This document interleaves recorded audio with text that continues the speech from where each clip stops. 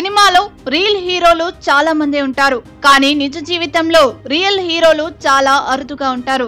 సాధారణంగా దేశం కోసం పోరాడే వాళ్ళను సైనికులు అంటాం. మరి ప్రజల ప్రాణాల కోసం ముందుండే వారిని లోకో పైలట్ అంటాం.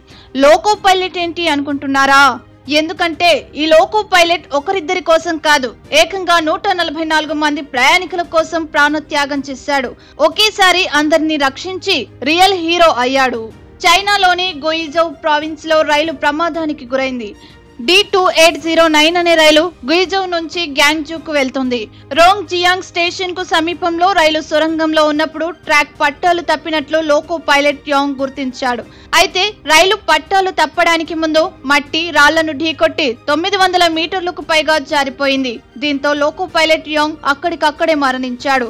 ఆయనతో పాటు మరో ఎనిమిది మందికి స్వల్ప గాయాలయ్యాయి. మిగతా నూట ముప్పై ఆరు మంది ప్రయాణికులకు మాత్రం ఏం కాలేదని చైనా స్టేట్ రైల్వే గ్రూప్ అధికారులు వెల్లడించారు.